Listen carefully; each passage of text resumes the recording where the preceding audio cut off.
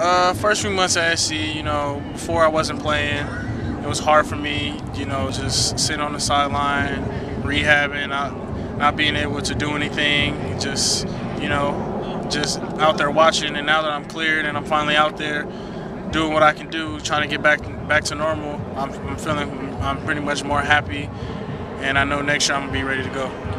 Uh, last week, Lane was you know praising you for, I mean, both you were stepping up in practice when all the running backs were hurt, and then I think Yeah. this week, uh, kind of portraying LaMichael.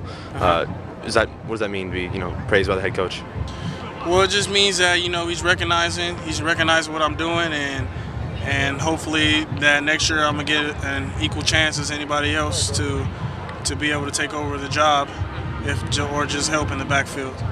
What was the, the deal with the knee injury? I mean, I've heard some different things about it. Like, how did it happen? It was it was earlier on in the season, right? And you played Yeah. on it for for a while. Well, that it was a first round of playoffs. I I was uh, feeling knee pain in my uh, in my knee all year long, actually for a year.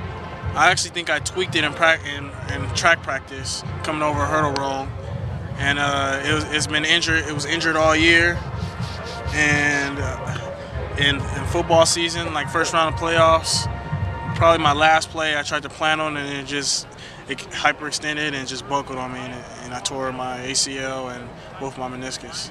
in recovering from ACL, is it is it harder, you know, the actual like physical thing of you know tearing your ACL, or is it the fact that you know the mental thing of it maybe doing that same plan would be probably tough at some point?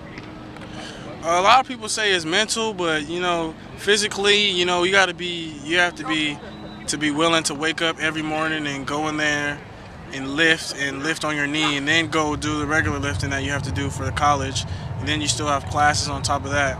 So that's a big part of it, and then mental is too, uh, getting back into it, running, getting ready to plant, plan on it and stuff, and you know, I think it goes hand in hand.